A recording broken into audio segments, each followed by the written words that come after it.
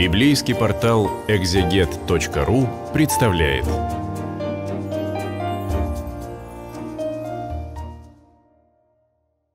Здравствуйте, с вами портал Экзегет.ру и священник Александр Сатомский, преподаватель Ярославской духовной семинарии и Ярославского педагогического университета. Мы продолжаем чтение и комментирование свитка Эсфири. Перед нами четвертая глава. Когда Мордахей узнал все, что делалось, разодрал одежды свои и возложил на себя вретище и пепел, и вышел на середину города, и взывал с воплем великим и горьким. И дошел до царских ворот, так как нельзя было входить в царские ворота во вретище, равно и во всякой области и месте, куда только доходило повеление царя и указ его, было большое сетование у иудеев, и пост, и плач, и вопль. Вретище и пепел служили постелью для многих. Вретище и пепел – традиционная форма ближневосточного траура. Библия часто в этих образах описывает скорбь своих героев. Во вретище оплакивает Иаков Иосифа. Разодрав одежды, скорбит о погибших детях Иов.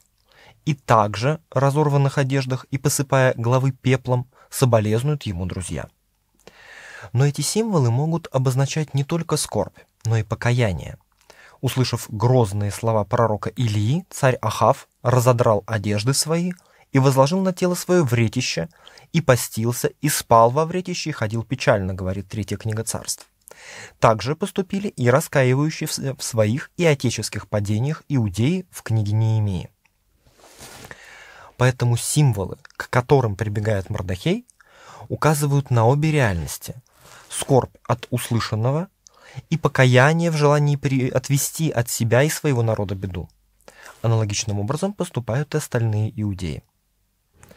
И пришли служанки из Сфири и евнухи ее, и рассказали ей, и сильно встревожилась царица.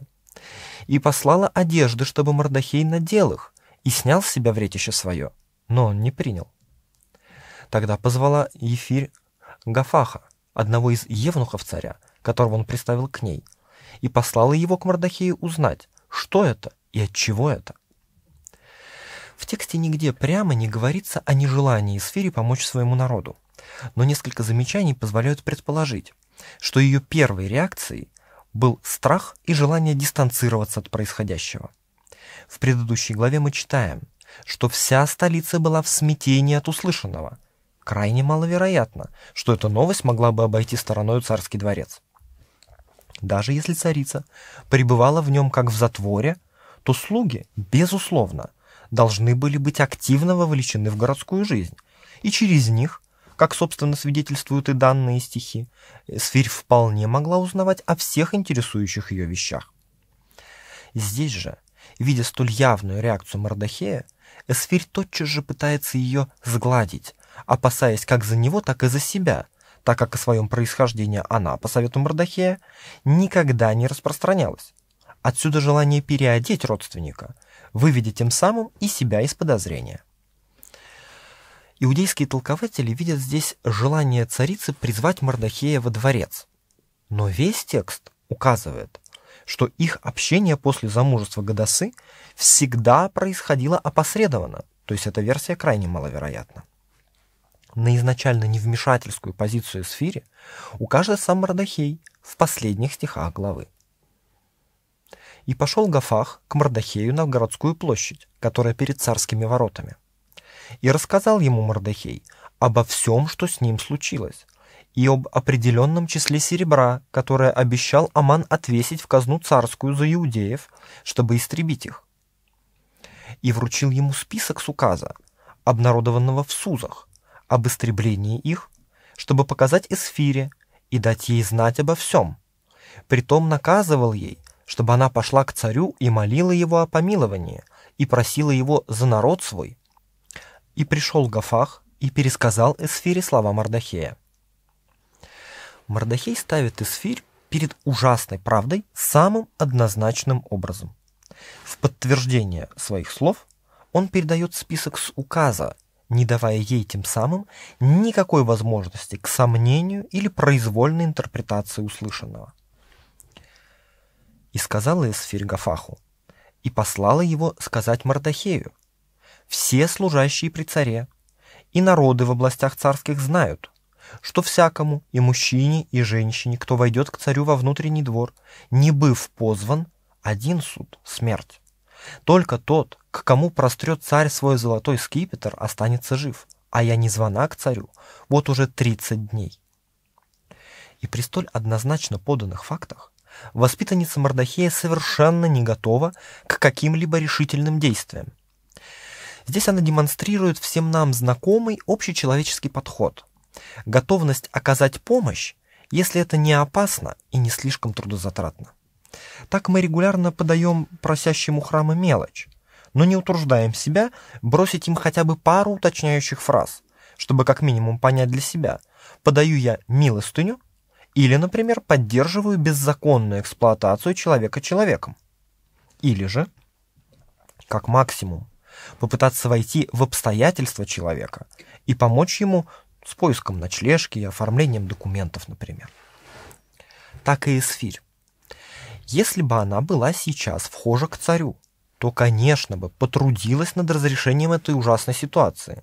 Но, увы, сейчас такой возможности у нее нет. Что делать? Жизнь бывает жестока.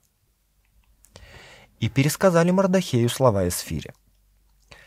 И сказал Мордахей в ответ Эсфире, «Не думай, что ты одна спасешься в доме царском из всех иудеев. Если ты промолчишь в это время, то свобода и избавление придет для иудеев из другого места, а ты и дом отца твоего погибнете. И кто знает, не для такого ли времени ты достигла достоинства царского. В этом отрывке главный психологический и богословский кризис всего повествования. Его можно сравнить с обращением Моисея у неопалимой купины или падением Савла от явления ему нестерпимого света на Дамасской дороге. Но здесь голосом Бога становится не ангел в купине, не трубный звук Синайской горы и не слово с властью из уст воскресшего Сына Человеческого. Здесь Бог говорит устами растерянного, напуганного, престарелого родственника, бросающего туда, в заоблачную высь царских палат, к столь стремительно вознесшейся и с этим отдалившейся воспитаннице, слова суда и обличения, вызова принять правду и поступить по правде. Не думай, что ты одна спасешься в доме царском из всех иудеев. В чем же богословский пик всего текста? Вот как звучит его главное послание читателю. Если ты промолчишь в это время, то свобода и избавление придет из другого места. Казалось бы, проходная фраза. Но не побоюсь пафосных выражений, вся предельная современность и своевременность и значимость книги в понимании именно данного фрагмента. Другое место есть не что иное, как эвфемизм, скрывающий всемогущего Бога, как бы сознательно выведенного за границы этой очень маленькой и предельно человеческой истории. Это прекрасно считывается. Ведь не Мордахею и Эсфире посвящен веселый Пурим. Не они хозяин жребиев, а тот, кто рукою крепкую и мышцу высокую, в свое время вывел беглеца Израиля от всесильного фараона из дома рабства. Это Бог Яхве, сущий. Ведь он также и в исходе отвечает на совершенно деперсонализированный вопль Израиля. Он там даже не назван молитвой. Израиль просто кричит и стенает. Но Бог, отец сирот и защитник вдов, отвечает на всякий вопль отчаяния и боли, даже если он не обращен к нему напрямую. И он точно добьется своих целей. Та же история десяти казней египетских очень красноречиво об этом свидетельствует. Но каждый раз он действует через человека, желая, чтобы люди были соучастниками улучшения мира, стали иконой, образом Бога, присутствием Бога в творении. Поэтому и Моисей, друг Божий, и Павел, его избранный сосуд, потому что они ответили на призыв Бога, приняли деятельное участие в его замысле, помогли даровать миру его божественную свободу. Но отношения на то и отношения, что в них можно поступить предельно свободно – если Бог всегда верен, то человек не всегда. Пример обратного – древний пророк Валаам, сын Пиоров. Выбор, перед которым ставит Мордахей Сфирь, это выбор, перед которым нас часто ставит в рамках нашей жизни Бог. Точно так же, не через ангела с неба, а через ближнего. И также, если мы ничего не предпримем, то ситуация разрешится, но без нас.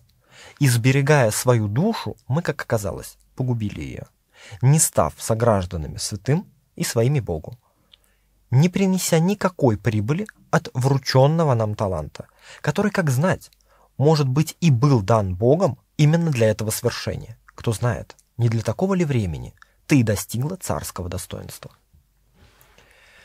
И сказала Исфирь в ответ Мардахею, «Пойди, собери всех иудеев, находящихся в Сузах, и поститесь ради меня, и не ешьте и не пейте три дня ни днем, ни ночью, и я со служанками моими буду также поститься, и потом пойду к царю. Хотя это против закона, и если погибнуть, погибну». И пошел Мардахей и сделал, как приказала ему Эсфирь. И ответ, колебавшийся, сомневавшийся и отстраняющийся от проблем своего народа Гадасы Эсфири, это ответ «да».